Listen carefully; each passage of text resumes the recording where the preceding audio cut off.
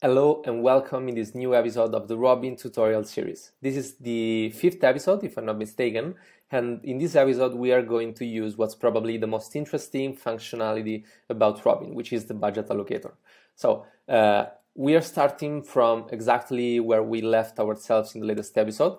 We are on the uh, uh right after the Robyn outputs part. As you can see in my console, there's still the the outputs related to uh, to plotting the models and here we can see our folder with all the outputs inside. What we are going to do here is scroll down a little and we will get to this uh, piece of code which is not commented and let's get started with this. So this first line is actually used to print all the models ID inside the console directly. So I can go copy and paste and execute this and this is going to give us all the um, optimal uh, model that we can use for the budget allocation. As you can see here, we have a few more models than the ones that we have plotted because we asked uh, Robyn to, to plot the list and actually uh, use clusters. So uh, those probably uh, are all the, the good model that Robyn found besides clustering them and even giving us the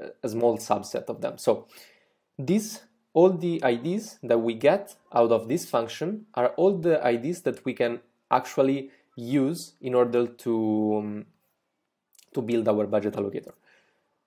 So uh, what we have to do after we, we print the solutions is actually select one of these. Let's take one that we have actually in our folder. So we can see the one 912.2 right here. I'm going to type here one 912 2 and we are going to execute this line of code.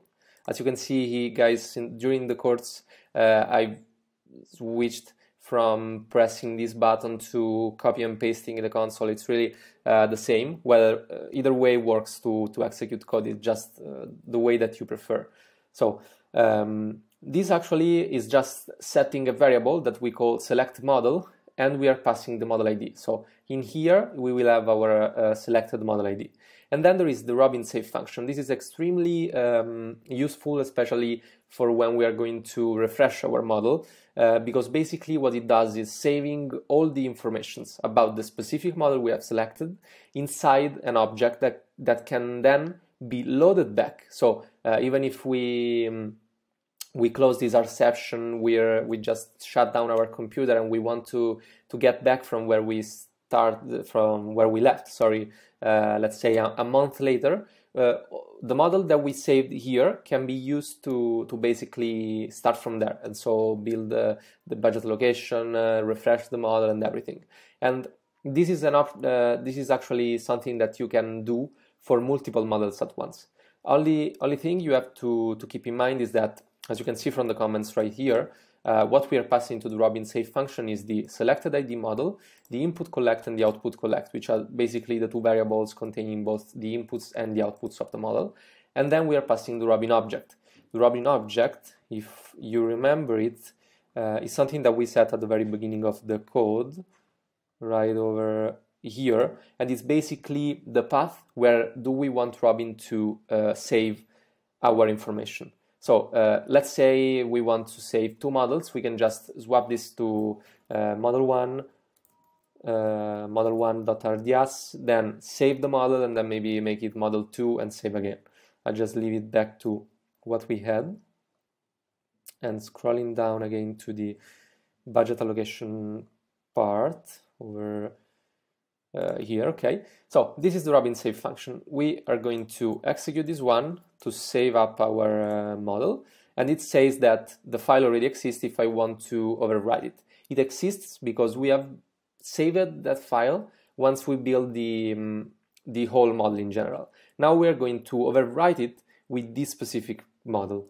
And I'm going to type in uh, C, which is why uh, it's C for me because I'm using Italian um, as my language here, but you will probably have yes, no, or cancel.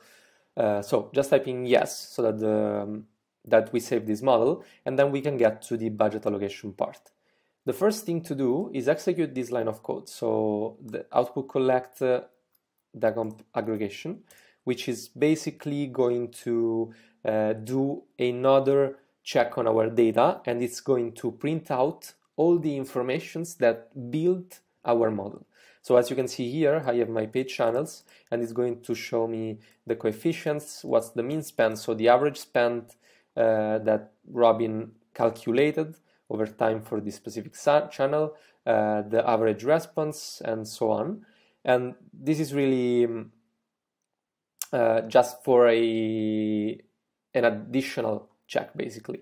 What's really the, the part of the code that we want to use in this tutorial is the Robyn allocator function. The Robyn allocator function works in two different ways. We'll go over all the variables, the parameters that we can pass to the Robyn allocator function in a moment, but we want to focus on the scenario one first. And the scenario one is the one that defines in which way we want the allocator to work. And there are two options as of now, which is max historical response, and down here you can see the max response expected spend. Basically, what the uh, max historical response mean is what's the uh, most I can get in terms of revenue, considering the average spend I have from the historical data that I passed to Robyn. So without changing my spend, what's the most I can get to in, term of, in terms of revenue by uh, changing the allocation of the budget? Or on the other side, in case I have a specific budget I want to spend in a specific set of days, what I can go is for the, the max response expected spend, and I can then specify to Robyn, okay, look, I want to spend exactly $100,000 in the next seven days. And Robyn is going to give me uh, an an optimal budget allocation for that budget in that kind in that amount of days basically um, which of course can be uh, more or less than what i'm spending right now but let's get back to the, to the first part and see what other par parameters we are passing to this Robyn allocator function. So we have our, our input and output collect with all the data needed for the models, as well as the select model, which is basically uh, the model ID we have selected earlier. The scenario keyword, and then there, there is the channel constraint low and constraint up. And this is really uh, important to understand because uh, imagine you are actually spending on five channels, just, uh, just as we are doing right now.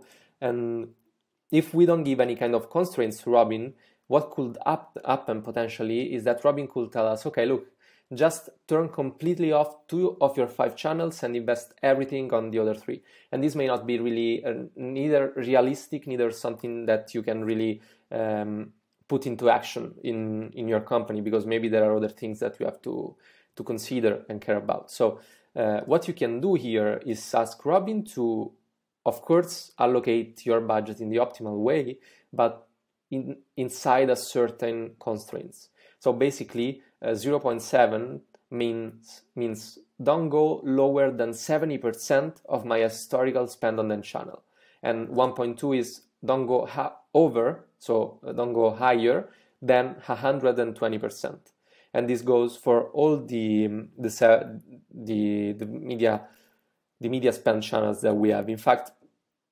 here the the length of this list as well as the position of the constraints must be exactly the same as the ones that we define all the way up here in our paid media variable. So as you can see here, I have TV, out of home, print, Facebook, and search clicks, which are five, and down here I'm doing exactly five. And this is TV, out of home, print, uh, search and Facebook or Facebook and search. And I remember the right order now. But basically uh, that's it. So we are telling don't go lower than 70% of historical average spend for each channel. And don't go higher than 150 for these four channels while don't go higher than 120 for this other uh, for the first channel. And this is something that you can change uh, however you like. Maybe you want to to go for one so that robyn only suggests you to to to spend less but not more but that's not really mm, a smart thing because maybe you are underspending on some channel and you want robyn to tell you okay invest more there. Uh, or maybe you want to to give robyn more freedom so that you can go for larger kind of constraints so we'll keep it as as it is and just run this line of codes. And as you can see here uh, it should take just a while. Uh, it's running the model uh, the budget allocator for the model 1912 which is the one we have actually selected. And it's printing this new file, which is the model ID underscore reallocated.png. And if we go in the folder, as you can see down here, I actually have this reallocated uh, file, which we are going to see together. Okay, let me put this full screen. Okay, so you uh, will have three main plots in this file. And the first one is actually uh, the one telling you how to allocate your budget. So here you see Robyn is telling you just keep spending the total amount you are spending, just keep it as it is. So 0% increase uh, is like don't change anything. You could have a, a, negative number here. Maybe you are overspending everywhere. Robyn can tell you, look, it's better if you spend 5% less. Or maybe uh, Robyn wants you to invest a little more, and that can be another thing. In general, here Robyn is telling, okay, from the general budget you are spending, so across all channels, the sum of everything you are spending is the same. What you do, however, is if, is if you change your allocation, as shown here, you will get a 10% increase from your revenue. One thing to note here is that Robyn is not talking about the total revenue, but is talking only about the revenue attributed to these media channels. So if we sum, if we are, let's say, doing uh, a thousand dollars a day, uh, Robyn here doesn't count the whole thousand dollars, but only, for instance, the six hundred dollars that are that are attributed to our media spent channels. So only the marketing attributed the revenue is considered here. Robyn is telling us, look, don't change your total budget, your total marketing budget, just reallocate it and the marketing channels are going to drive you a 10% increase in terms of marketing driven revenue. This said, we can go over to the first plot. And the first plot is actually really simple to read. Over here, you have all your media spend channels. And as you can see here, in light blue, we have the initial spend share. So this is actually what we are spending right now. We are spending 33% on out of home. We are spending 6% uh, on search clicks, which is basically Google uh, or Bing is search in general, and then 17.45 on Facebook. The blue, the dark blue one, is basically telling us how to properly allocate the budget over here. So it's saying, look, you are probably overspending on both uh, out of home and Facebook, which is something that it's we already saw in the one pager model, if you remember from the previous episode. And it's actually telling, lower the budget from 33 to 24 and from 17 to 12%. And then spread those, uh, those additional budget that we have removed from there across these other channels in this way. So add a 7% over here, a 3% over here, and so on. One thing, one thing you have to keep in mind is that whenever you go and change the percentage of budget allocated, this is always related to the total budget. So if you go on, uh, for instance, Google Ads and set it to lower the budget by 15% from tomorrow, that's not going to be the same as if Robyn tells you to lower the budget by 15% because Google Ads can only see its own budget. So it's going to reduce the budget by 15% of what you are actually spending on Google Ads. If Robyn tells you to reduce the 15% your budget, it's the 15% based on your whole media spend.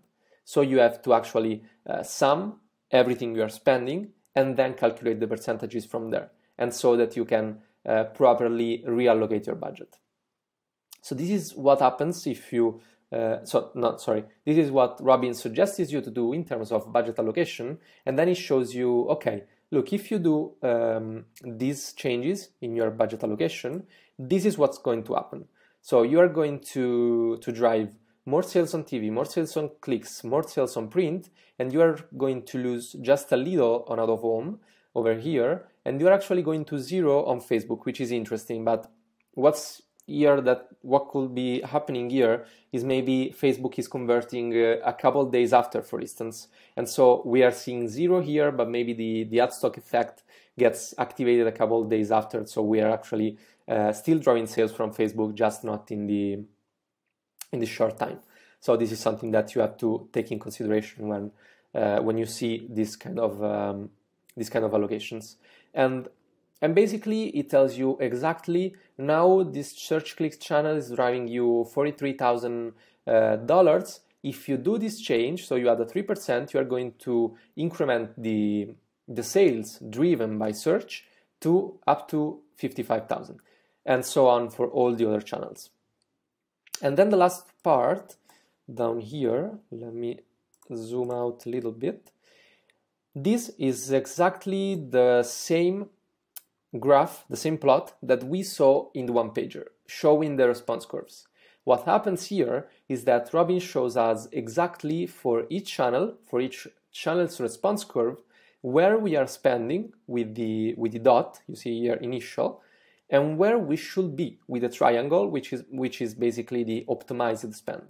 So um, as you can see here, for instance, the optimized is going back down on the on line. That's probably uh, that, that that's probably a bug. You know, you know, this triangle should be up here. And the same goes for um, for the out of home, which is the other channel that Robyn suggested us to uh, underspend a little. And then, as you can see on the others, the optimized spend is a little higher. This is something that we said in the previous video as well. As you can see, the saturation point starts really flattening the curve right, right here. So we are clearly over, underspending on print, sorry. And that's in fact um, something that Robyn noticed as well and actually uh, suggested us to, uh, to go this way. So this is pretty much everything you need to know about Robyn budget allocation. One thing that you may have to keep in mind because this may happen to you whenever you run Robyn on your real data is that Robyn may assign a zero impact of on some channels. So imagine you are uh, you are having five channels, and Robyn says, "Look, you are the Facebook is not driving any kind of sales." So Robin may suggest you to actually shut down a channel potentially, and in case you get to the um, to the budget allocation part, uh, you may see some sort of percentages that don't sum up to 100, especially in the initial part. Because usually what happens here is that you will have the optimized percentages that sum up to 100 but the initial percentages that sum up to less than 100 and what happens and you have to, to consider that whenever you will uh, find a um, in a situation like that is that the the part that you are not finding in the initial is actually what you are spending on the channel that Robyn turned off so whenever you have this missing part of budgets here uh, keep in mind that it may be because Robyn turned off a channel and you are and it's basically not considering what you are spending on the channel as your initial share. Uh, so just keep in mind that and uh, use the the budget on the turned off channel to uh, spread evenly on the others as Robyn is suggesting you. So this is all for this video. This is something uh, one, one thing before closing up. This is something that you can do the budget allocation you can do it for uh, for several models. So let's say uh, we want to see what other models we have here. We have the um, oops sorry. Uh, let's go this way it's probably going to be easier. Okay. Uh, so maybe we want the budget allocation for this one model. We can just change it here. Rerun this part, go and overwrite,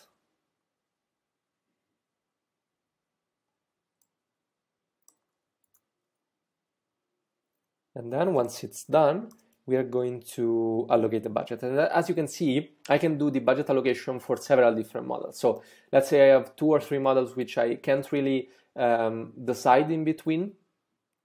I can run the budget allocation on all of them and get an idea of how it changes the budget allocation based on the model I've chosen.